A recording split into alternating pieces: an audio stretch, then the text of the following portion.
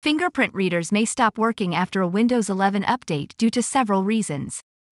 One common cause is outdated or incompatible drivers. Windows updates might not always install the latest drivers for all devices, leading to conflicts with existing software. Additionally, changes in system configurations, security settings, or software conflicts can disrupt the functionality of the fingerprint reader. So in order to resolve this issue just follow the steps of this video to fix your fingerprint reader issues. First open your Start menu. Type Device Manager. Open your Device Manager.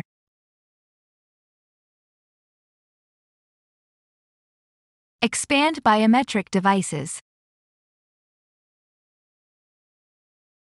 Right-click your fingerprint reader device. Select Properties. Open the Driver tab. Click on Disable Device.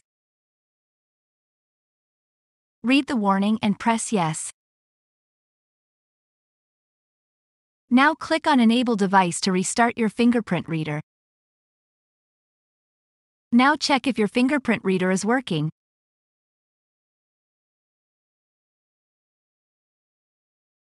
Open your Start menu and look for Device Manager. Open the Device Manager.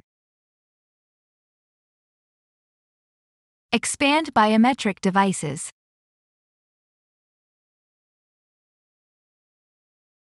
Right-click your fingerprint reader and select Properties.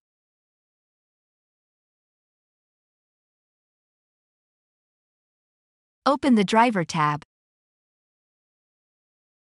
Select Update Drivers. Choose Browse My Computer for driver software. Click on Let me pick from a list of available drivers on my computer.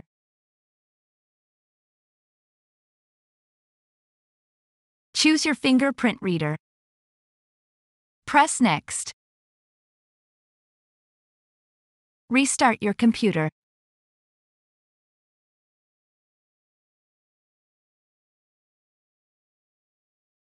First, open your Start menu. Type Device Manager. Open your Device Manager. Expand Biometric Devices. Right-click your fingerprint reader device. Select Properties. Open the Driver tab. Press the Update Driver button. Select Search automatically for updated driver software. You can also select Search for updated fingerprint reader drivers on Windows Update.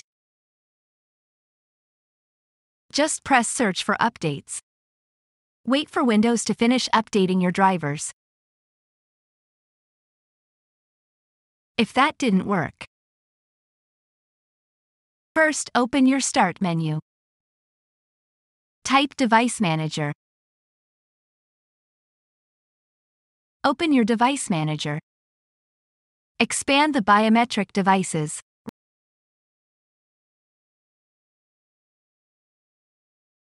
Right-click Fingerprint Reader Adapter and choose Properties.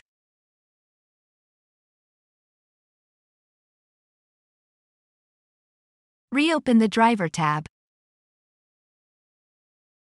Select Uninstall device. Press the Uninstall button.